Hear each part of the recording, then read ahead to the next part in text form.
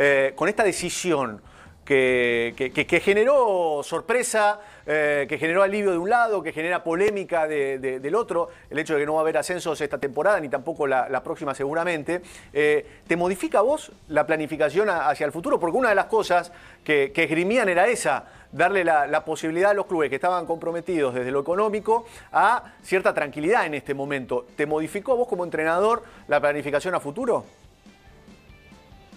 A, ver, Gustavo, eh, con respecto al descenso, lo primero que tengo que decir en cuanto al pasado, que me hubiera gustado conseguir el objetivo dentro del campo. Me parece que el patronato fue creciente, llegó como para arrimarnos al objetivo. Los 10 partidos que estaban, nunca vamos a ver lo que hubiera sucedido. Respecto al me parece que eh, en primera división, como en todas las categorías, hay, hay tres objetivos. Uno es el campeonato, otro es eh, copa o reducido en las categorías de ascenso y otros pelean por permanecer.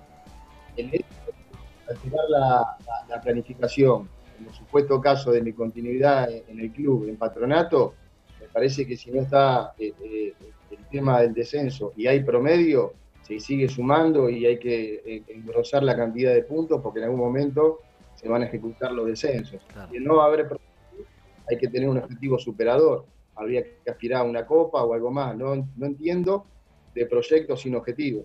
Bien, bien. Y, otra cosa que me, pareció interesante eh, de tu opinión es que en general, eh, no, no, no todos, pero digo, eh, en general se ha sido crítico históricamente y ahora vuelve a los campeonatos largos. Y te escuché, te leí en, alguna otra entrevista que diste en estas últimas semanas que vos eh, estás de acuerdo, que, sos uno de los que apoya un campeonato de 30, por ejemplo, ¿no? que si en algún momento se llega a, 30, ¿vos te parece que, es algo bueno cuando otros piensan que desprestigia eh, al fútbol argentino un campeonato con tantos equipos?